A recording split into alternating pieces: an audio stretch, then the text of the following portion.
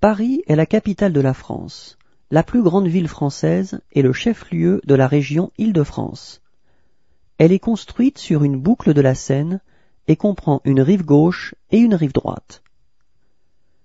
Connue dans le monde entier pour ses monuments et sa vie artistique et culturelle, Paris est aussi un symbole historique fort, un centre économique important et un point de passage pour les transports intereuropéens.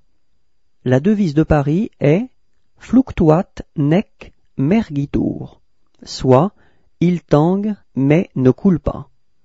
Il s'agit de Scilicet, le navire représenté sur le blason de la ville et la symbolisant.